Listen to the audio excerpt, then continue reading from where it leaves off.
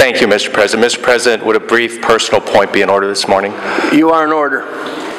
Thank you, Mr. President. Good morning, um, friends in, in the Senate. Um, I rise this morning to uh, point out a, a, a story that's been in the national press the last few days. Senator Grassley is getting more national attention. Unfortunately, it isn't working for legislation that will reduce student debt or for legislation that will help seniors continue living in their own homes or for legislation that will create jobs here in Iowa. Instead, Senator Grassley is leading a national boycott against Coca-Cola. The cause Senator Grassley is fighting for is ALEC. Members are aware of the American Legislative Exchange Council.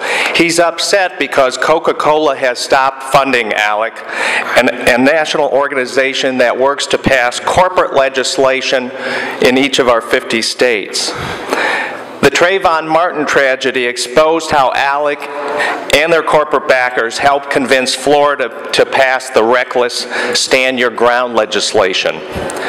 But Stand Your Ground and making it harder to vote are not the main focus of ALEC. The main focus of ALEC and the main purpose, purpose of ALEC is to help corporate interests write state legislation the same way they write legislation in Washington, D.C.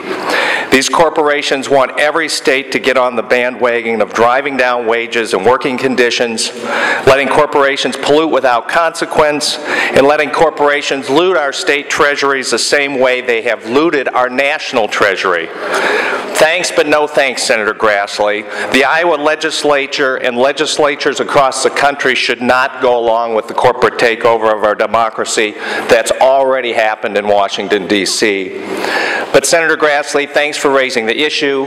This next election will determine if the Iowa legislature remains answerable first and foremost to the voters of Iowa. I certainly don't want the Iowa legislature to be absorbed by corporate special interests and the sinkhole that has swallowed Washington, D.C. and many other states. Mr. President, my birthday's in July. It's not today.